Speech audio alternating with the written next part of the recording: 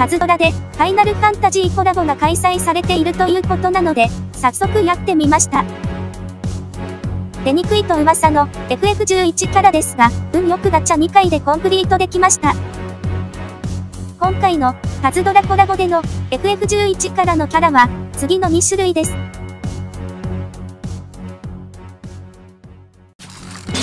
まずは、きなり、発売当初より、そんなことよりきなりとちょめちょめしたい、と言われ、男性からの人気がダントツのキャラですね。そしてもう一つは、パズドラにもっと女子を囲い込みたい、という乱暴の狙いでしょうか。女子がおかずに使う、定番のキャラ、デスピン社長です。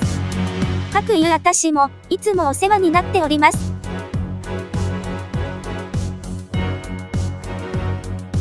というわけで、レム物語2章と3章を取りに行ってきました。